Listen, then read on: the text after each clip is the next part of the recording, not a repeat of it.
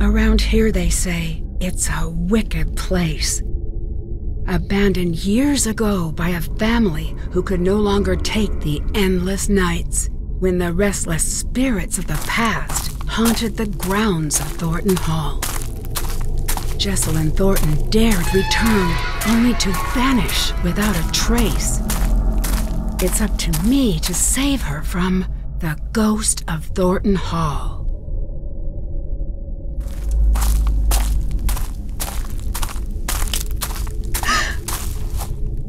Hello? Anybody here?